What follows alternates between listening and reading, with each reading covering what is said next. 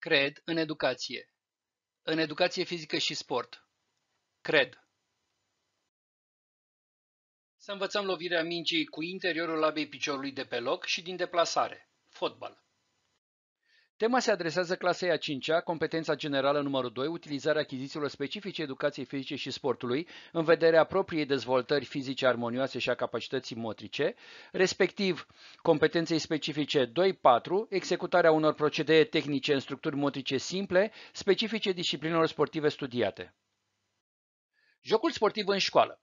Are o importanță deosebită deoarece prin intermediul acestuia se poate asigura o atractivitate crescută lecției.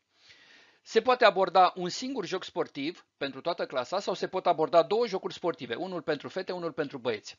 Conform normativului de dotare minimală pe unitate de învățământ, la disciplină educație fizică și sport clasele 5-8 sunt necesare 6 mingi. Locul în lecția de educație fizică și sport este după veriga, influențarea selectivă a aparatului locomotor, dezvoltarea calităților motrice, viteză sau îndemânare, capacități coordinative sau abordarea unei alte deprinderi motrice. Recomandări cu caracter general privind evaluarea. Se recomandă utilizarea cu preponderență a evaluării continue formative. Procesul de evaluare va îmbina formele tradiționale cu cele alternative. Se va urmări corelarea directă a rezultatelor evaluate cu competențele specifice vizate de programa școlară, valorizarea rezultatelor învățării prin raportarea la progresul școlar al fiecărui elev, utilizarea unor metode variate de comunicare a rezultatelor școlare, recunoașterea la nivelul evaluării a experiențelor de învățare și a competențelor dobândite în contexte non-formale sau informale. Jocul sportiv evaluare Conform sistemului de evaluare pentru învățământul gimnazial, în cazul jocului sportiv la clasa 5-a, anul 1 de instruire se va urmări o structură tehnică și joc bilateral. Cadrul didactic va preciza la începutul fiecărui an școlar structura tehnică la care vor fi evaluați elevii. Aceasta cuprinde sub forma unei acțiuni cursive câte un procedeu specific de manevrare a mingii de deplasare cu obiectul de joc în relație cu partener și un procedeu specific de finalizare. Jocul bilateral cuprinde reprize în condiții regulamentare și va fi arbitrat de cadrul didactic. Se evaluează respectarea responsabilităților postului repartizat în echipă, eficiența participării în fazele de atac și apărare, colaborarea cu coechipierii, contactul regulamentar și respectul față de adversari, acționarea conform prevederilor regulamentare.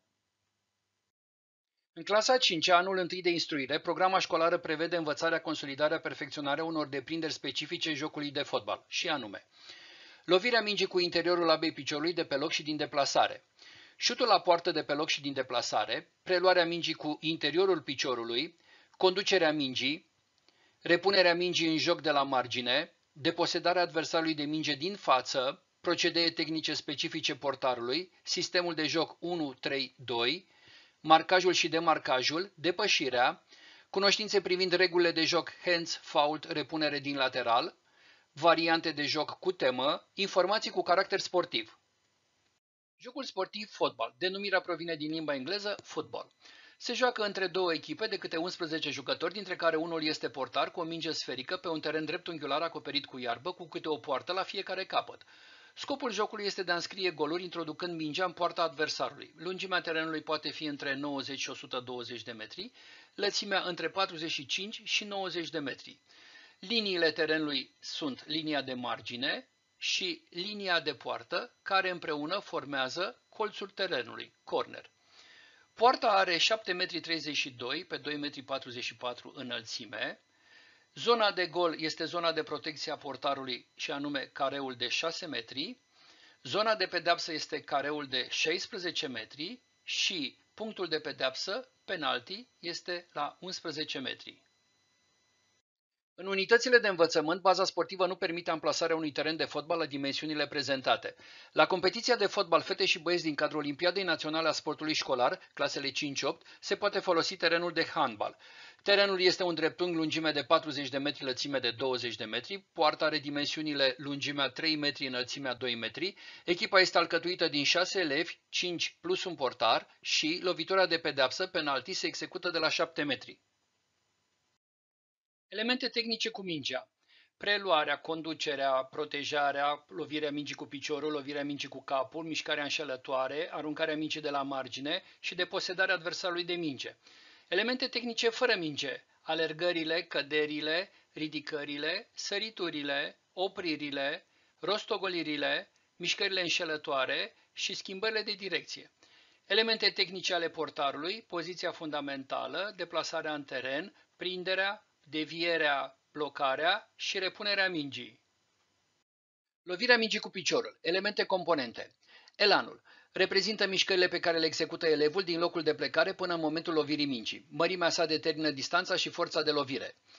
Piciorul de sprijin. Direcția sa asigură direcția pe care se va deplasa mingea după ce a fost lovită, poziția sa influențează traiectoria și înălțimea mingii după lovire.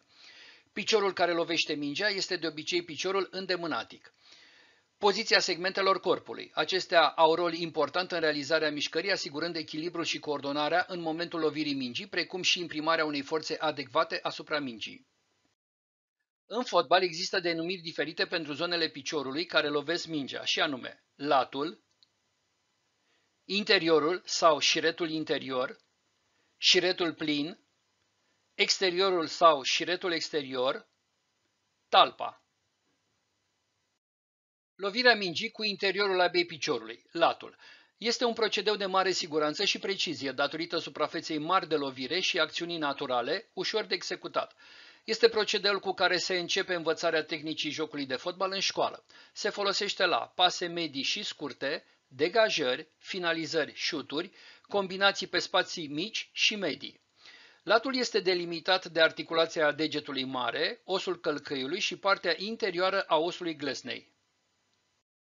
Lovirea mingii cu interiorul labei piciorului, latul, se poate executa de pe loc, din deplasare, a mingii care se rostogolește pe sol, a mingii din aer și a mingii din drop care atinge solul. Mecanismul tehnic.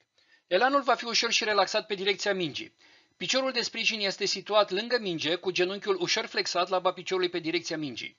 Piciorul care lovește mingea execută o pendulare posterioară spre înapoi, apoi lovește mingea și în final o pendulare anterioară spre înainte este întors din șold, în afară, în așa fel încât laba piciorului să fie pe direcția loviturii, genunchiul piciorului care execută lovitura fiind ușor flexat. Pendularea spre înapoi nu trebuie să fie exagerată. Trunchiul ușor aplecat înainte, privirea fixată pe minge, brațele asigură echilibrul corpului. Mingea trebuie lovită în centru pentru a imprima direcția dorită. După lovire se va continua mișcarea de balans a piciorului, pendularea anterioară. Indicații metodice. Prima acțiune a elevului este plasarea pe direcția sosirii mingii. Piciorul de execuție se orientează în așa fel încât suprafața viitoare de contact, latul, să ajungă în plan perpendicular pe direcția de sosire a mingii. Contactul cu mingea se face printr-o amortizare a acesteia pe suprafața interioară a piciorului, amortizare realizată printr-o mișcare de cedare. Piciorul de sprijin este flectat din articulația genunchiului și avansat spre linia mingii, uneori chiar depășind-o. Brațele sunt orientate asimetric și lateral pentru asigurarea echilibrului. Privirea urmărește succesiv mingea și apoi spațiul de joc. Metodica învățării Individual, 3-5 metri departare de perete, lovirea mingii cu latul piciorului îndemânatic, același exercițiu executând cu celălalt picior. Aceleași exerciții mărind distanța față de perete la 7-9 metri. Pe perechi, față în față, la distanță de 8-10 metri, lovirea mingii cu latul, de pe loc și din deplasare, alternativ cu ambele picioare. Suveică cu lovirea mingii cu latul, după lovire, deplasare spre înainte sau spre înapoi. Pe perechi, la distanță de 5-6 metri, alergare cu diferite tempouri și lovirea mingii cu latul din deplasare, alternativ cu ambele picioare. În formații de 3-4 elevi așezați în triunghi sau în pătrat și lovirea mingii cu latul. Joc cu temă, măgărușul, 1-2 elevi în centrul unei zone delimitate, trebuie să recupereze mingea care este lovită numai cu latul de către 5-6 elevi.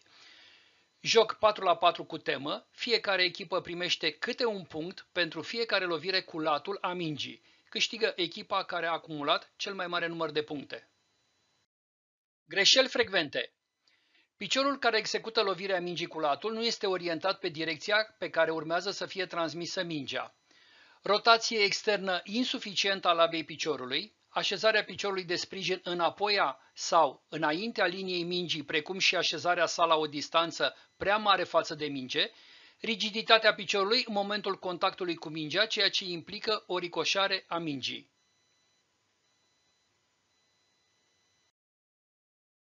Cred în educație. În educație fizică și sport. Cred.